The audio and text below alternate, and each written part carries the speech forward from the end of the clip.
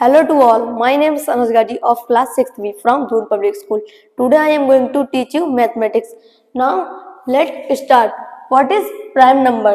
The number which have only two factor 1 and the number itself are called prime number.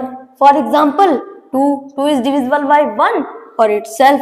3, 3 is divisible by 1 or itself, etc.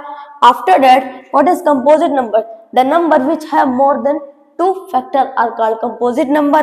For example, 4, 4 is divisible by 1, 2 or itself.